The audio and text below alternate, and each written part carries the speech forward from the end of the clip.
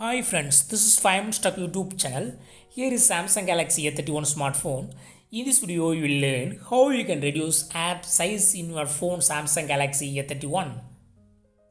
To reduce app size, go to the settings of your phone first. Go to the settings here and click on display. Click on display. Now click on home screen.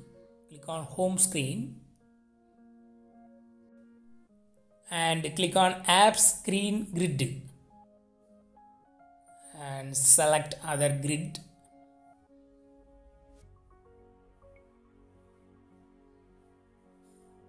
I have selected this one last one. And click on done. And uh, app size will be reduced now. See the changes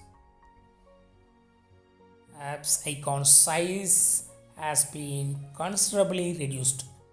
Again go to settings and click on display, click on home screen and click on apps screen grid and I select uh, second one.